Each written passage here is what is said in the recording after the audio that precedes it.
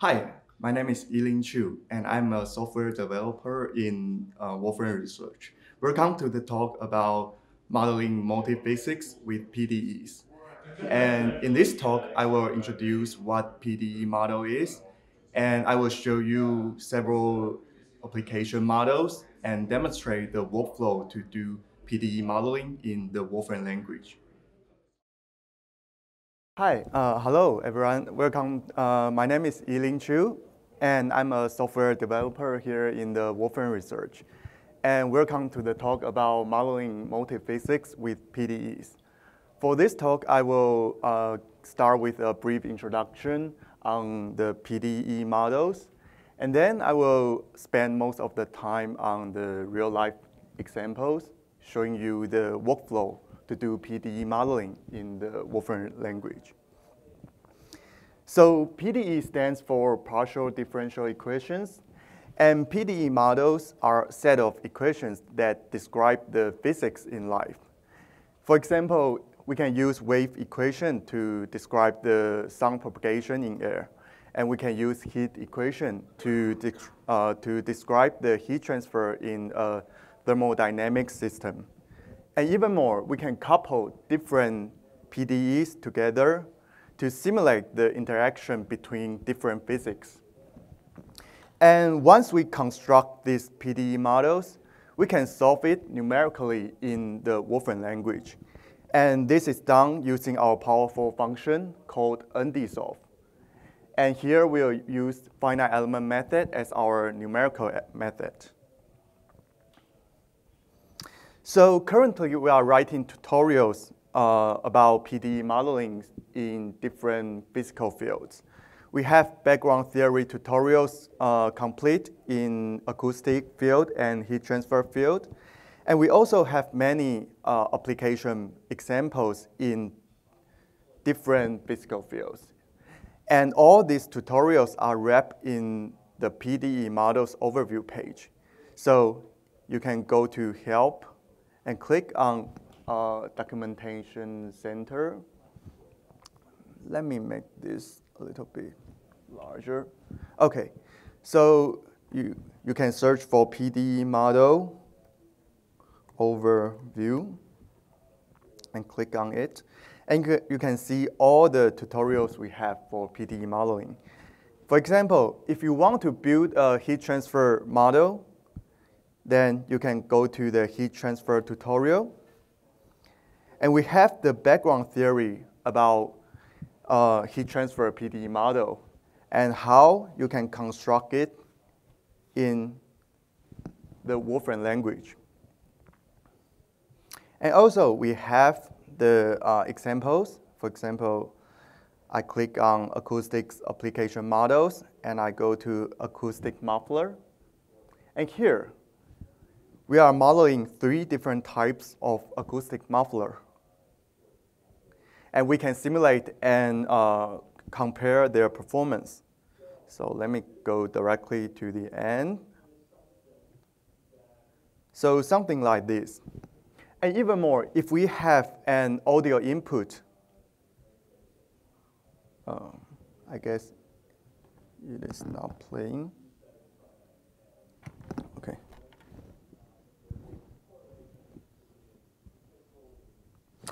Okay, so uh, yeah, the sound is not working, but the, yeah, let's say you have an input audio, then you can even simulate the sound output from this muffler. Okay, so let's go back to our slide. So in the following, I will walk you through an example. And to do PDE modeling in Wolfram language, there are three major steps. Uh, the first step is to set up our PD model, and then we will solve it numerically in uh, using NDSolve. And then once we got the result, we can do some uh, post-processing, like animation and analysis. So, okay, let's start with this example. Here, I have a tungsten wire. At both ends, I apply a voltage. And this will introduce electric current flow within the wire. And due to this current flow, uh, like part of the current flow will convert into the thermal energy and heats up the wire. So to model this, I will first construct uh, an electrostatics model to simulate the electric field V.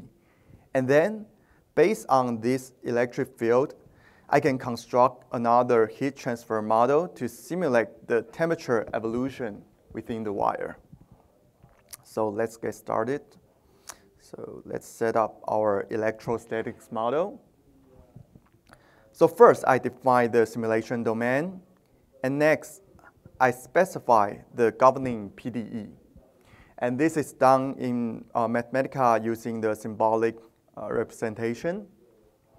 And, and then I need to specify the boundary condition. So at both ends, which marked in red and uh, yellow, I apply voltage. So I use Dirichlet condition to specify the electric potential on the left end and the right end. And now, our model is set up and ready to be solved. The solving process is very simple. We just uh, send our PDE models into NDSolve. Here is the PDE we just uh, specify and the boundary condition we set up. And here we are solving for electric field V over the 3D domain. The return will be an interpolating function. So let's take a look at our result. So here, uh, first, we can visualize the electric potential field over the wire. At the left end, it is held at 0.2 volt. At the right end, it is fixed at zero, x what we expected. Okay, so based on the electric field V fund we solved for, we can calculate the electric heat generation. And this heat generation is in proportional to the square of the electric gradient. And this is done in Wolfram language using this line which is very simple. And we can see the heat generated the most at the inner edge of the wire. Oh, okay, so it is hidden here. It is not, uh, it, it is a lot of code, but it, it is not complicated because uh, I like I use the, uh, I have to set up the legend bar and the kind of thing. Yeah. But embedded in QX1. Uh, yes, it's in Q. Got it. Thank you. Mm -hmm. And with this Q, we can even calculate the total heat generation over the entire domain. And this is done by integrating over the domain. And in Wolfram language, we have a function called un, uh.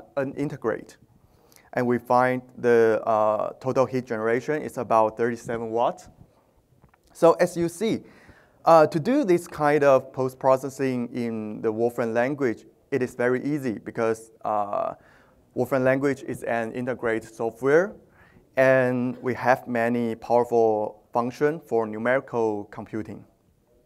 So this is one main advantage to do PDE modeling in uh, our framework.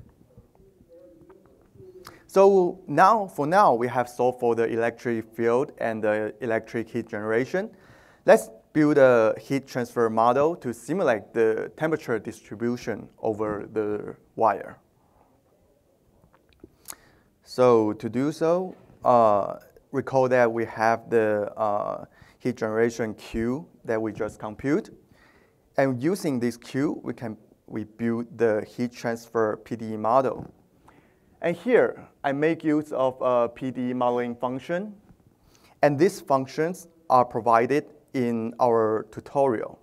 So if we go to the PDE models overview page, and here we are modeling heat transfer. So we go to heat transfer, and we go to heat transfer model setup. Then you can find the PDE modeling function here. And we will teach you how to use it and what arguments we need. So next, we have to set up the initial condition and the boundary condition.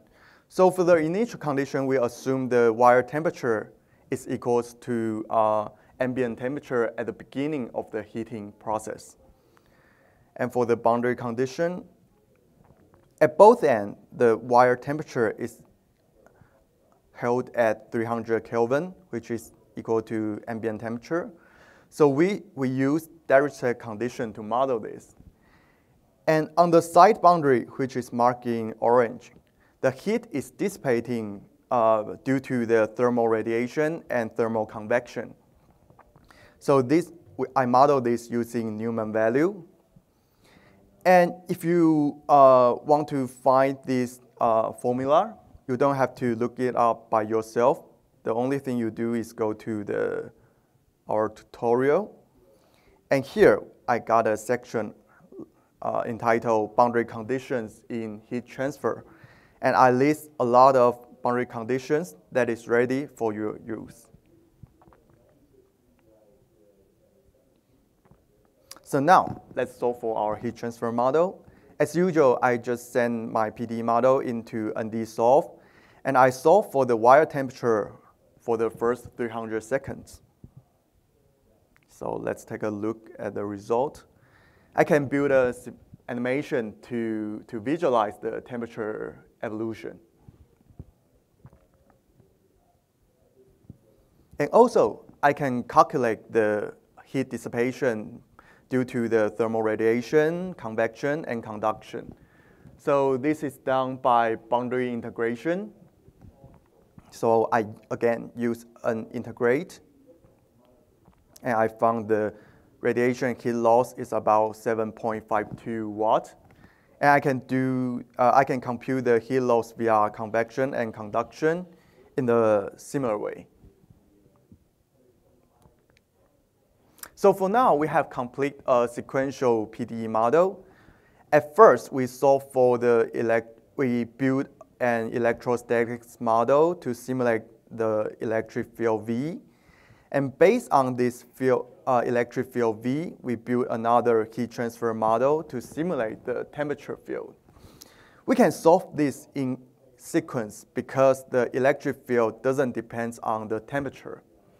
But imagine what if we are modeling two different physics that will interact with each other.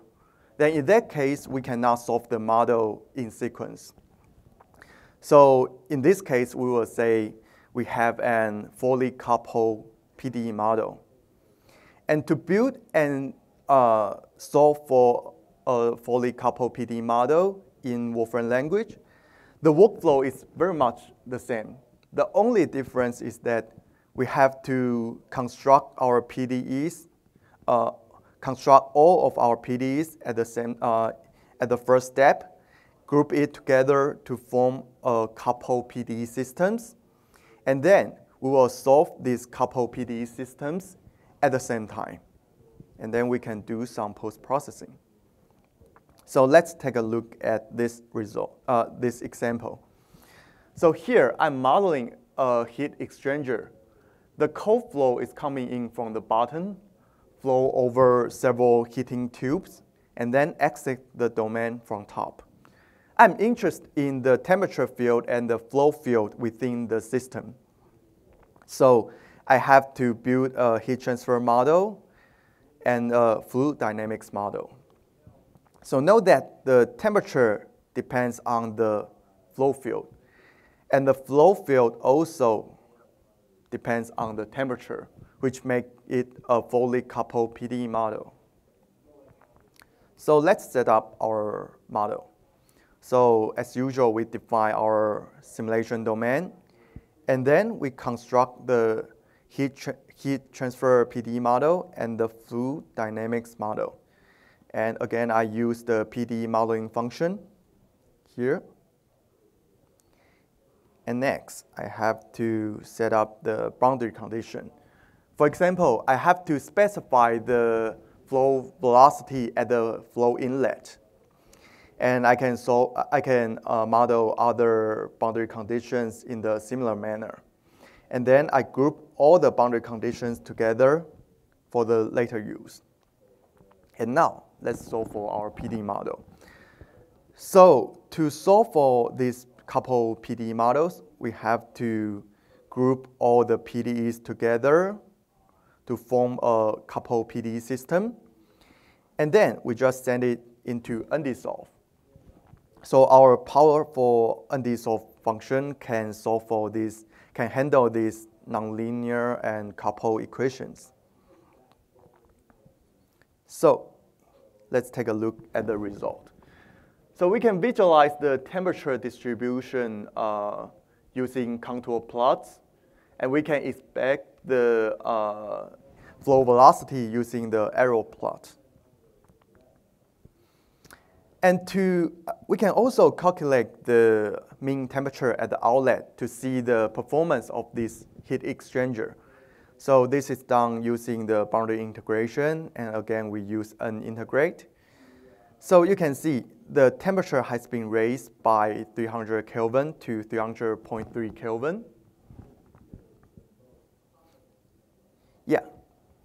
So uh, today we have uh, we see a sequential PDE model, and we build this sequential PDE model to simulate and the electric heating of the wire.